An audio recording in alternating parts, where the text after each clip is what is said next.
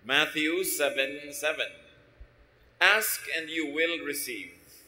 Search and you will find. Knock and the door will be opened to you. Ang ating pag-aaral, pinamagatan natin, attract blessings. Paano ba inaakit natin, lumapit sa atin ang mga pagpapala? Ama namin, salamat po dahil kayo ay Diyos na gustong mag-bless, magpala sa inyong mga anak. Ituro nyo sa amin ang tamang daan, saan kami lulugar, anong dapat namin gawin para kami tumanggap ng iyong mga pagpapala. Bless us, Father, enlighten us, strengthen us. In the name of Jesus, your Son, we pray with thanksgiving. Marami mga tao, ang tanong nila, paano ba ako magiging blessed? Ang tanong pa ng iba, mas diretso, paano ba ako suswertehin? Bakit parang mailap sa akin ang kapalaran? Tapos parang ang dali-dali na lumapit sa iba. Pag sinuri natin yung mga buhay, pamamaraan ng pamumuhay ng mga taong maituturing na mapalad, pinagpala, blessed, may mga common denominator. At nasa Biblia mismo ang susi kung paano ang tao ay magiging blessed o tatanggap ng pagpapala. How to attract blessings? Be clean and tidy in your body and surroundings. Unumpisang-umpisa yan. God is God of cleanliness. God is God of beauty. God is God of tidiness and cleanliness. Kung paano dapat malinis ang ating espiritu, ang kakambal kasi ng espiritu natin, katawan, the physical world, malinis din, maayos ang ating katawan, ang ating pangangatawan, at ang ating kapaligiran. It goes without saying na kung ikay marumi at burara sa iyong kalusugan, sa iyong katawan, sa iyong kalinisan, madali ka magkasakit. At mahirap mabless kung may sakit. Mahina ang iyong katawan, tinatamad ka, wala kang energy, wala kang drive. So dapat namumuhay ang tao sa paraan na siya'y palayo ng palayo sa mga infection, sa mga accidents, dala ng kapabayaan at karumihan at kaguluhan ng paligid. 2 Timothy 2.21 all who cleanse themselves of the things I have mentioned will become special utensils, dedicated and useful to the honor of the house, meaning the Lord, ready for every good work. So to be ready for every good work, which is also equivalent to be ready to become an instrument and a channel of blessing, which is also the same as to be ready to be the recipient of blessing, one is to rid themselves of all of those filth, all the disorderliness, and all the dirt mentioned in many, many verses in the Bible. Kaya nga ang kalinisan ng katawan, ng pamamahay, ng kapaligiran at kaayusan nito kasama sa pag-attract ng blessings. Paano ka naman dadapuan ng kapalaran kung ang gulo-gulo, ang dumi-dumi, ang baho-baho, mga kabaligtaran ng katangian ng Diyos? Another way to attract blessing is be orderly and organized as we have already introduced. Kailangan maayos ang lahat. Ang bahay natin, alam natin kung saan nakalagay yung mga gamit natin. Sa mesa mo, sa drawer mo, alam mo kung nasa ang mga gamit. Hindi halo-halo, gulo-gulo. Kukuha ka ng damit, natusok ka na ng aspilin, natusok ka na ng gunting, napasok ka na ng kawali, kasi yung kawali mo pala, eh, kadikit na nung ginagawaan mo, magulo. 1 Corinthians 14.40, but do everything properly and in order. That is in our spiritual life, in spiritual worship, and also in practical life. God is God of order. Hindi nagbubungguan ng mga planeta, may kanya-kanya silang speed, kanya-kanyang direksyon, kanya-kanyang tinatahak na landas. Merong order ang seasons, kahit ngayon nagkakaroon ng weather changes, may changes lang, kaya para magulo. Pero pagka na-establish na yung change na yan, nasanay na tayo, meron na naman siyang system. May panahon ng lahat ng bagay. Kaya dapat may kaayusan. 1 Corinthians 14.33, God wants everything to be done peacefully and in order. Ito man ay sa matataas na spiritual na bagay hanggang sa mga kaliit-liitang practical aspect of our life. Maayos merong predictability, merong system, hindi magulo. Ganyan din, kahit nagne-negosyo ka, maayos ang iyong record keeping, maayos ang iyong balancing ng iyong funds, maayos ang pakikitungo mo sa iyong mga kapwa manggagawa o manggagawa, sa iyong mga kliyente, Kasi pag magulo, hindi ka nakakapag-deliver on time, gulo-gulo ang iyong inventory, paano uunlad ang iyong negosyo? Be positive. And this is very important. Think positive. Be optimistic. Tuwing tayo'y nag-iisip ng negative, ng masama, ng nakakatakot, nakaka-discourage, tatandaan niyo mga kapatid, meron kayong option na yung kabaligtaran nun ang isipin. Na imbes na yung nakakatakot ang isipin, isipin yung kapayapaan sa pananalig sa Panginoon. Imbes na isipin mo ay yung nakaka-discourage, pwede yung isipin mo nakaka-encourage. Kung pwede mong isipin ang nakakalungkot, pwede mo ring isipin ang nakakasaya. Choice mo yan. Mark 11.24, Everything you ask for in prayer will be yours if you only have faith. This is full of meaning. Lahat daw ng hinihingi mo sa panalangin ay magiging sayo, mapapasayo kung nananalig ka. Ang akala ng iba, ang prayer, yun lang inuusal ng bibig yung Lord, magpe-pray na po ako, ito na po ang prayer ko, Amen, at yun ang prayer. That is verbalized prayer, only one of the many forms of prayer. But thoughts, words, and attitude are prayers too. Sa palagay nyo ba, kinaklasify ng langit yung prayer na sinasabi ng iyong bibig na merong ending na this I pray in Jesus' name?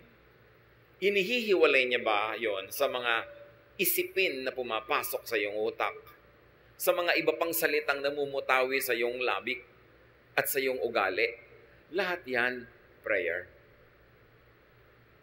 At sabi, di ba, pag hinihingi mo at naniniwala ka, ibibigay sa iyo. Kaya yung iba sabi na sabi, naku, ang hirap ng pera. Mahirap ang kumita ng pera. Siguradong hirap yan sa pera. Kasi sinasabi niya, Prayer yun. It is a statement of faith. Ano yung paniniwala mo? Na mahirap kumita ng pera. Eh di ba sabi, when you ask in faith, it will be given to you.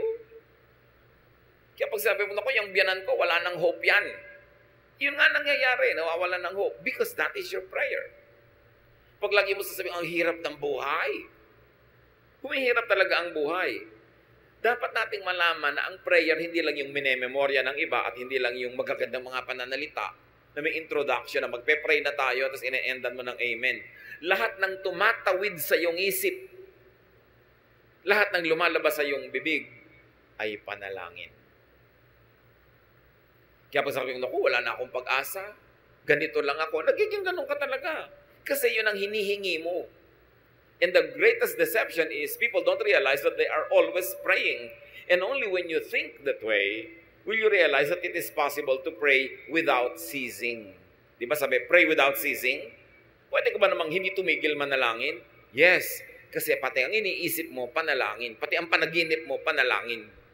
When it crosses your mind, it registers in heaven. Because we connect with God through our thought. Paano ba tayo kumukonect sa God? Through our hands? Nakikipag-holding hands ba tayo sa Diyos? Through our lips?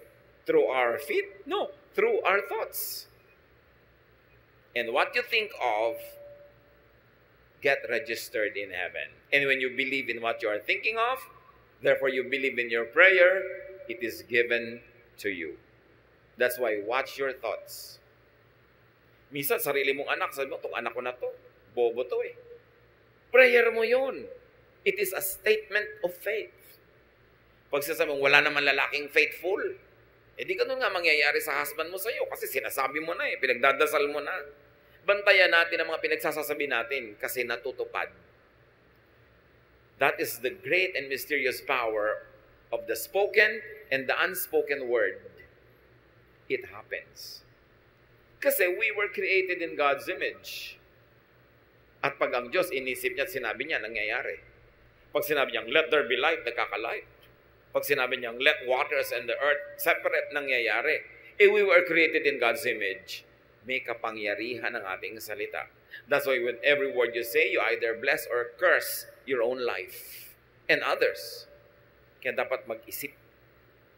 Attract blessings, speak good, kind, and positive words.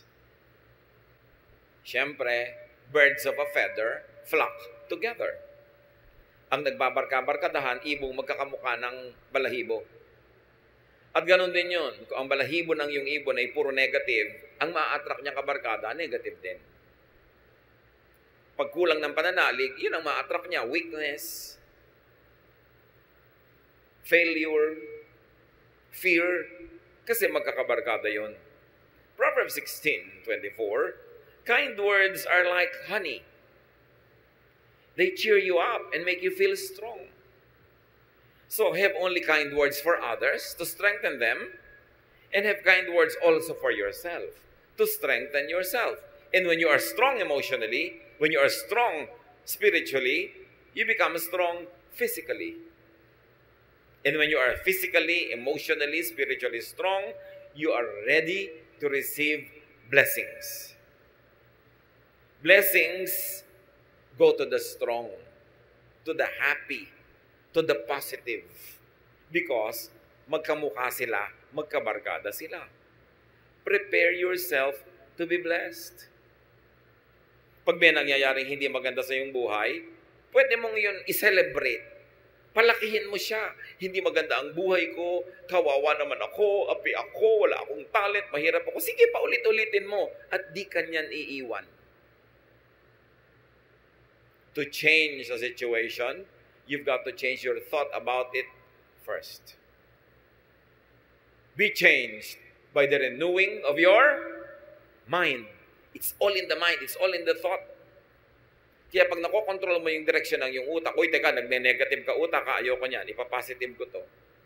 Uy, nagiging afraid ka, gagawin ko, faith, ang kapalit, mananalig ako. Decision yan. So kind words are like honey you know, unkind words are like acid. Pag ang bibig mo, lagi ang laman eh, unkind words, parang lalagyan niya na may lamang asido. It destroys its own container. So prepare to be blessed by thinking positive, by being positive. It is a choice. It is a habit to be positive or to be negative. But you know that God is positive. Paano kanya i-bless kung negative ka? Hindi ka handang tumanggap. Another way to attract blessings is to be a blessing to others. Matthew 5:16 Make your light shine so others will see the good you do and praise your Father in heaven. When people praise God because of what they see in you, is it too far for God and too difficult for God to bless you? Because He gets delighted when He is praised. And He is worthy of praise. Pero kung napipintasan ng Diyos dahil sa iyo, alam mo na kung anong ina-attract mo na energy.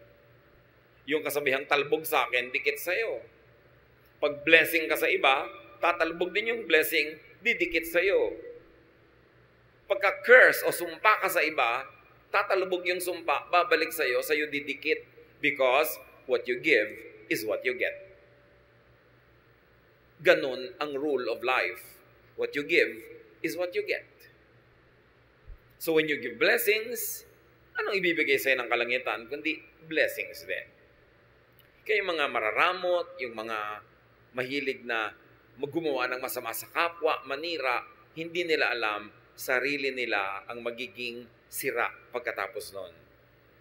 Bumabalik at bumabalik sa atin parang boomerang ang lahat ng ating hinahagis.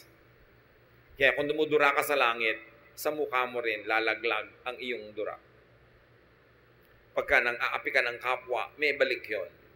Pag naninira ka, gumagawa ka ng masama, may balik yon. Kaya nakikita nyo ha, most of the time, mga chismosa, hirap sa buhay. At kung hindi man sila nahihirapan ngayon, baka bukas pa. Pero kadalasan, isipin nyo lahat ng chismosang kilala nyo sa buhay nyo. Mga hirap sa buhay. Kasi negative. Kasi laging naninira you attract blessings, give. Be a giver of good things. Be generous with what you give. Proverbs 11:25 Be generous and you will be prosperous. Help others and you will be helped. Napakadali namang maintindihan.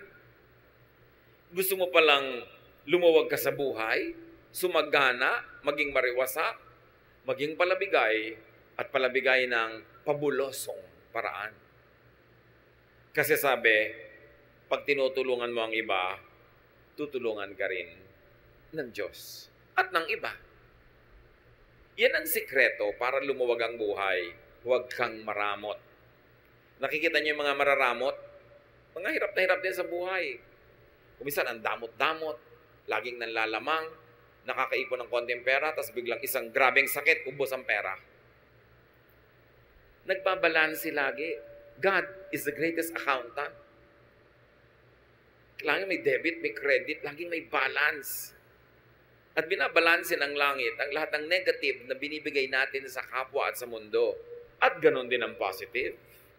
Ibinabalik. What you give is what you get. Yan ang rule ng kalangitan. And you keep what you give away. Parang baligtad. Pero ganun talaga. You lose what you are trying to selfishly keep for yourself. But what you try to give comes back to you.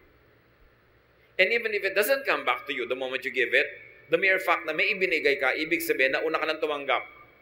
Kaya pwede ka na magbigay. Kaya kahit hindi ibalik yon panalo ka na rin kasi may naibigay ka nga. Ibig sabihin, may natanggap ka na noon pa. Kung hindi, wala ka namang ibibigay. You attract blessings, be industrious.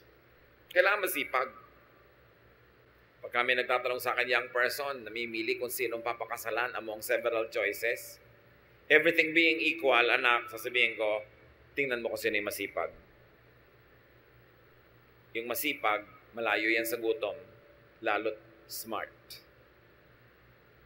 Pero kahit gwapo, tamad, gutom yan, at pag kumakalam na yung sikmura mo, hindi ka na magugwapuhan dyan. Kailangan masipag. Masarap kasama ang masipag. Magaan kasama. So, be industrious. You want to attract blessings? Alam nyo, God is God who works. Sabi niya, six days you should labor, and the seventh you should rest. So, six days of work bago ka magkaroon ng one day of rest. Hindi ka tulad naman ng iba, six days of rest, one day, rest pa rin. Walang work. Tapos gusto magkapera. Work well. It's not enough that you work. You work well. Para yung quality ng trabaho mataas. Nakakalungkot naman, ang sipag-sipag mo nga, pero napakaliit naman ang sweldo doon sa pinagtatrabahuhan mo. Dapat humanap ka ng iba na yung sipag mo masusuklian ng tamang katumbas na sweldo o kita o tubo. Kasi marami naman masipag, kaya lang hindi smart. Nagasgas na, napagod na, namatay na katatrabaho, pobre pa rin. Kasi yung kanyang ginagawa, hindi sapat yung kinikita niya sa kanyang pagod. Dapat sapat para sulit kung magtatrabaho ka ng pitong taon, sampung taon, limampung taon, dapat mas marami kang kinita kaysa nagtrabaho ka rin ng ganong kahaba na ang konti-konti ng kinita mo. Be productive. 1 Thessalonians 4.11 Try your best to live quietly, to mind your own business, and to work hard, just as we taught you to do. So, hard work. Focus on what you do, not on what others do.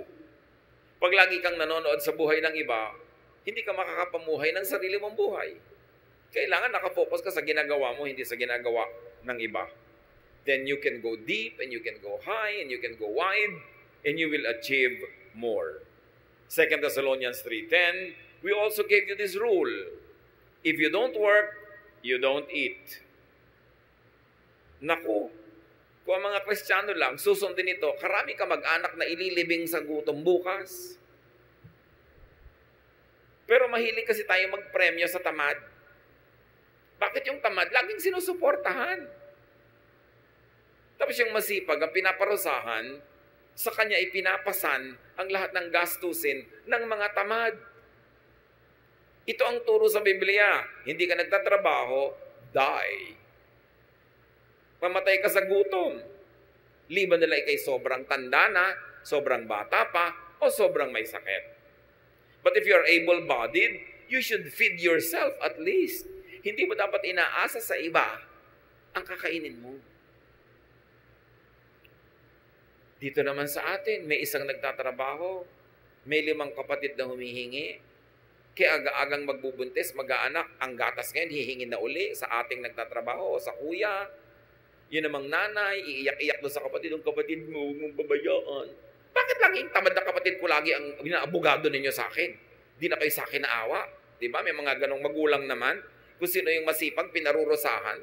Yung tamad, pinepremyuhan. Hindi yun biblical. Pag nakaranas siyang magutom at kumalaman si Kura, magtatrabaho. 50 years old na, humihingi pa ng pang-load. Abay, huwag kang mag-cellphone kung wala kang pang-load. Di ba? Huwag kang magsaya. Boring. Lagi, alam niyo yung mga tamad, laging boring. Lagi ang nabobore. Subukan nilang magutom. Di ba? So, if you want to eat, you work. And if you work smart, you eat. Dinadagdag natin yung smart. Although sasabihin ng grammar teacher ko, if you work smartly. But if you work smart, you eat. Hindi lang yung work ka ng work, pero hindi ka naman smart, napapagod ka, wala kang kita. Marami rin ganun trabaho eh. Dapat sulit. But remember, brothers and sisters, laziness attracts hunger. It attracts many other negative things. Pagtamad, marami nang kakambal na problema. At dahil tamad, laging nabobor. Hindi kasi busy pag nabobor, iimbento ng mga kabalbalan. At usually, magastos ang bunga ng kabalbalan.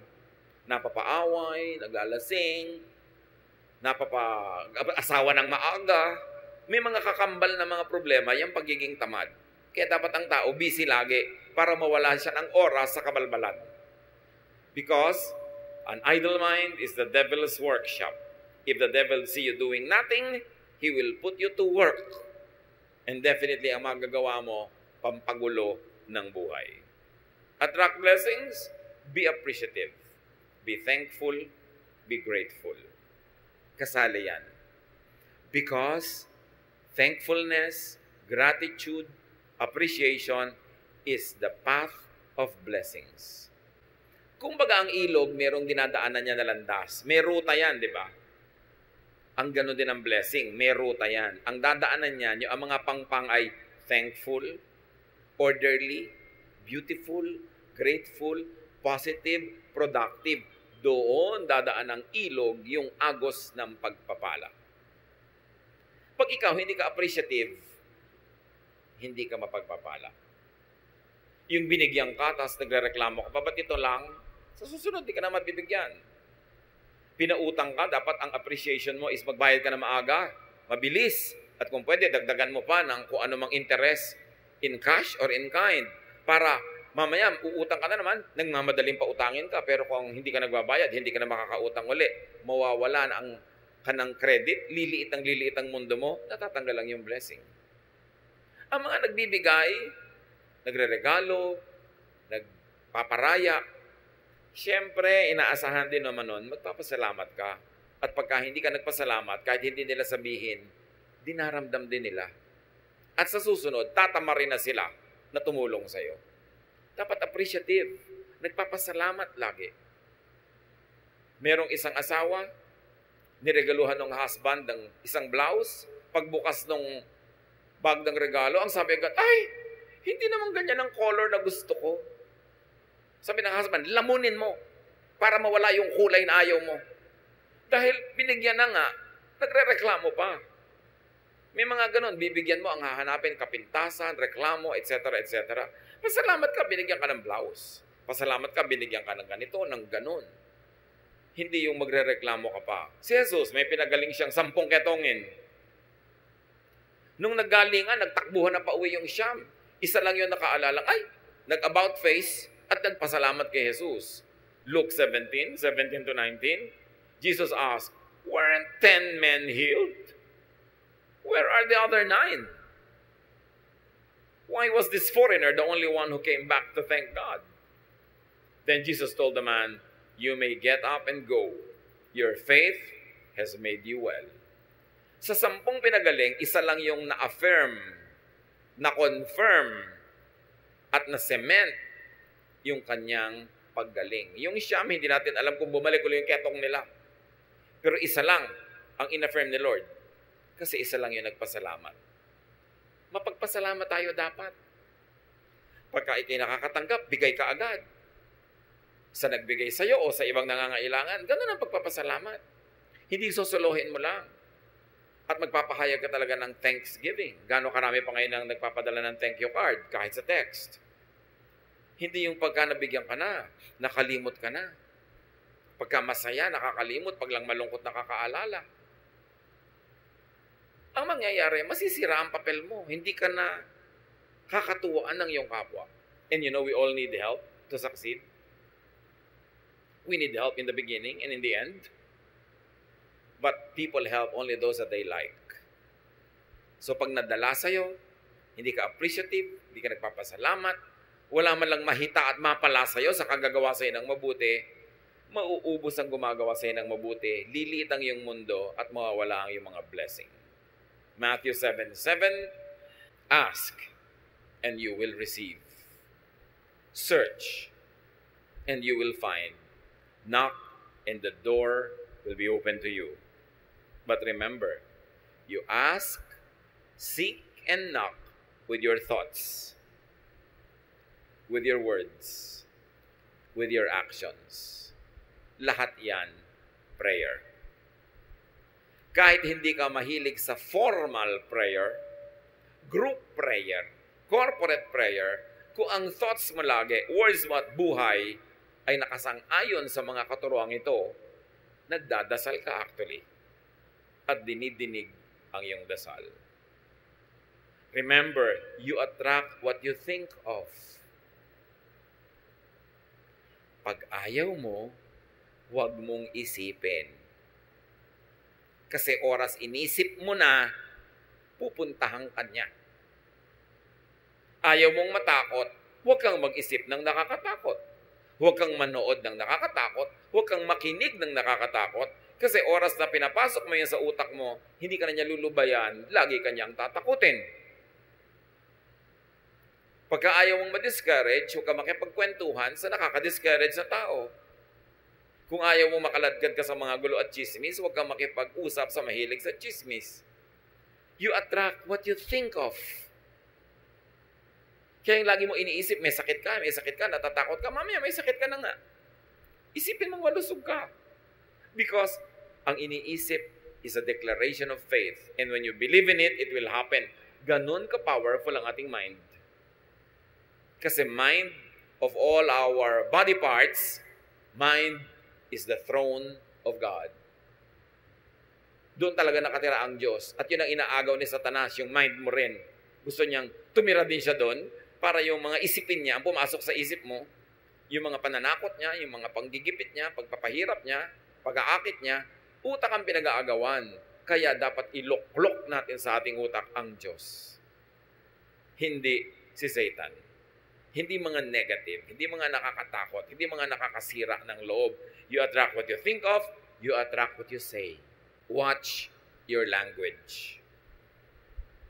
What you say will come true and you attract what you do. Iyan ang mga prayer. Luke 6.38, Give, and it will be given to you. A good measure, pressed down, shaken together, and running over, will be poured into your lap. For with the measure you use, it will be measured to you. Kung anong ibinibigay mo, yun ang tatanggapin mo. Kung paano ka magbigay, ganun ka rin paano tatanggap. So give and you will receive. Be a blessing and you will be blessed. Dear Lord, we thank you for these reminders. Salamat sa mga paalala nyo na hindi naman mahiwaga para mabless. Itinuro nyo sa inyong salita kung paano kami mabibless. Buksan nyo po ang aming isip. At sa mga alam na namin, turuan mo kami maging masunurin that we do not resist your word when we hear it. That today as we hear your word, we do not harden our hearts as in rebellion, kundi maging teachable kami. And we should be willing to change our ways, to change from negative to positive, from ungrateful to grateful, from unloving to loving, from unhappy to happy.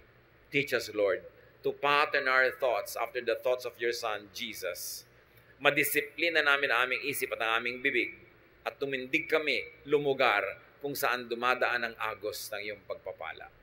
Pagbulay-bulayan natin ang mga ito, mga kapatid, kung paano i-apply sa ating personal life, meditate on it for a minute, think about what this message is telling us, and decide to heed the word of truth, truth that liberates and empowers. Be alone with the Lord in silent reflection.